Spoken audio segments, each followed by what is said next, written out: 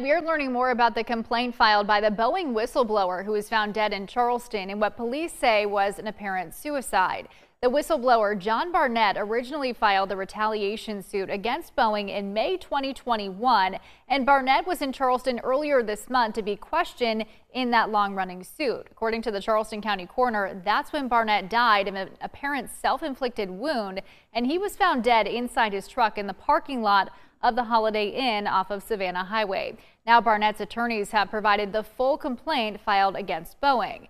In that complaint, Barnett alleges that through his seven-year tenure at the Boeing South Carolina plant in North Charleston, he made numerous ethics complaints about a culture of concealment in which he and others at Boeing were pressured by upper management to violate Federal Aviation Administration or FAA standards. The suit also details allegations of harassment and humiliation by upper management at Boeing and Barnett's attorneys claim it all amounted to a hostile work environment and ultimately his constructive discharge. We'll have much more on this complaint as well as the court's decision in May 2022 denying Boeing's partial motion to dismiss. You can find that on our website, counton2.com.